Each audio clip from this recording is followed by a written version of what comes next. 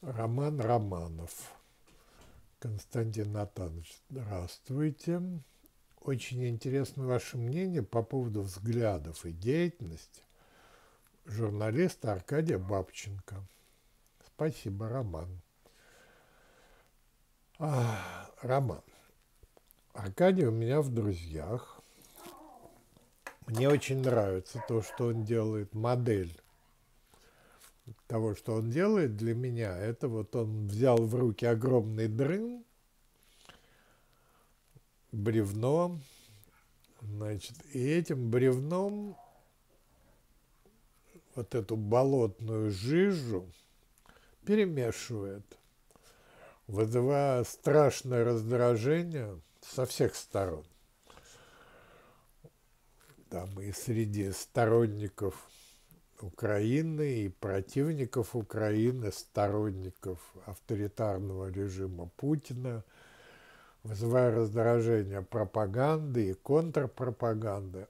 Но это очень полезный процесс. Он иногда обращает внимание на явления, процессы,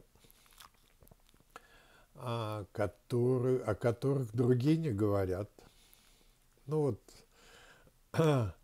доставляет кислород в самые глубины, так сказать, этого болота.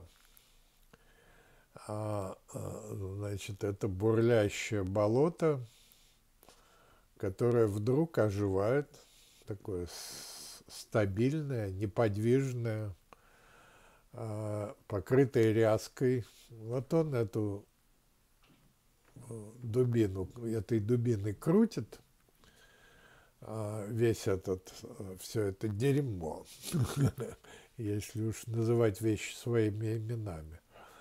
Оно булькает, оно, ему это не нравится, этому болоту, и окружающим не нравится, там, какие-то пузыри, какие-то газы возникают, метан вдруг начинает подниматься из самых глубин. Значит, опасно просто, взрывом опасно. Он горючий материал, этот метан. Понимаете, а он смело так крутит, называя вещи, как он считает, своими именами. А, ну, это может быть не очень точный э, образ, то, что я придумал. Не все он позволяет объяснить в действиях Аркадия. Но это, безусловно, интересно. Он делает все очень талантливо. Не соглашаюсь с ним довольно часто. Рука тянется лайкнуть его пост, а я себя останавливаю, говорю, погоди, это же не твоя точка зрения. Вот.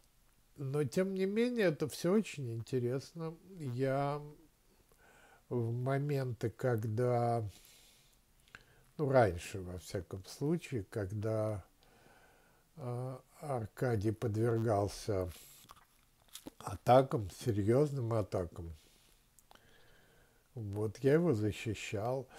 Ну, с точки зрения там, многих, скажем, э, Олега Панфилова – он пропагандист порошенковский, порохобот. Но он имеет право на эти взгляды. И это интересно. Он имеет... Он очень плохо относится к Зеленскому. Очень хорошо, пусть критикуют его.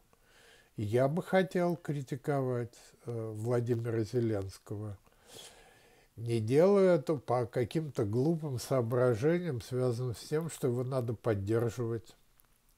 Аркадий его критикует очень жестоко, иногда бессмысленно, иногда очень эмоционально, несодержательно, но критикует, и это хорошо. И пусть продолжает.